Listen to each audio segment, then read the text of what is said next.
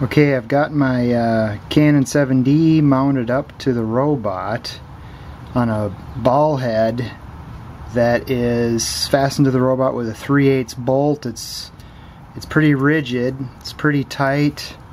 Um, so I'm going to take some video and find out how jittery or floppy it is. Um, the image stabilizer on the 24 to 105 lens is turned on.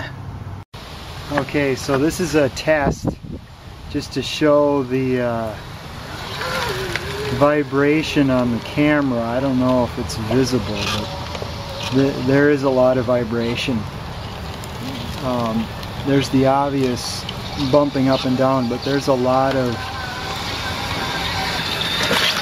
vibration with the camera.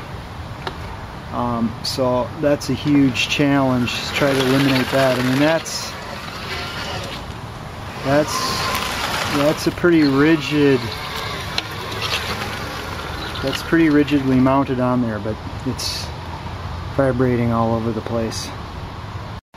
Okay now what I've done is mounted the uh, Canon 7D directly onto the frame so there's no ball head there so let's see if that eliminates, uh, it should actually eliminate a lot of the vibration.